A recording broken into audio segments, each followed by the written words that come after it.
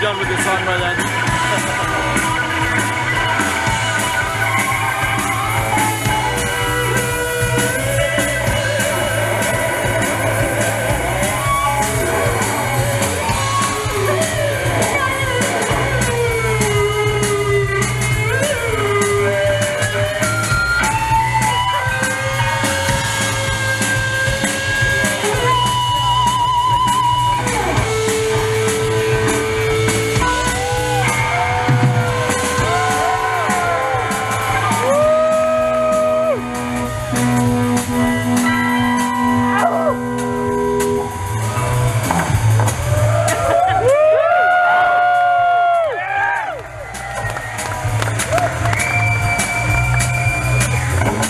Thank you.